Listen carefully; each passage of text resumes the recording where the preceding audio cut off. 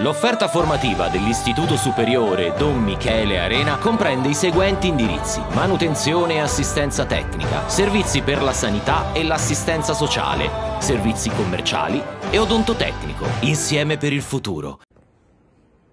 Ho appena firmato l'ordinanza con la quale si recepisce il DPCM e quindi eh, la condivisione che il Ministro Speranza ha voluto fare della nostra richiesta di istituire in tutta la Sicilia la zona rossa.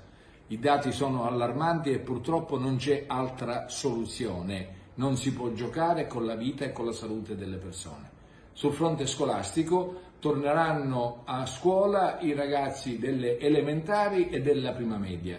Per tutte le altre scuole di ogni ordine e grado eh, varrà la didattica a distanza.